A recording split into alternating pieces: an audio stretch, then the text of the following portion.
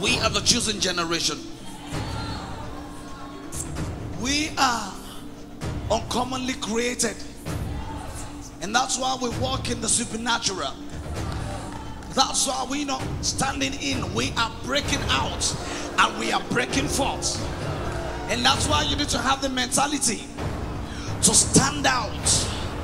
It doesn't matter who left you, make sure you are not left out because it's time for you to stand out. It doesn't matter where you have where they have kept you, make sure you are coming out because it's time for you to stand out. You are not meant for the crowd because your ground is not in the crowd. That's why you need to stand out. You have to do it now because the Bible says, I will do a new thing, and now it will spring forth.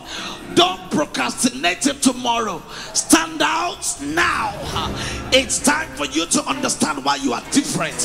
It's time for you to know you are supernaturally located and supernaturally established, and you will take territory supernaturally. And that is why you need to stand out. Let somebody scream, stand out.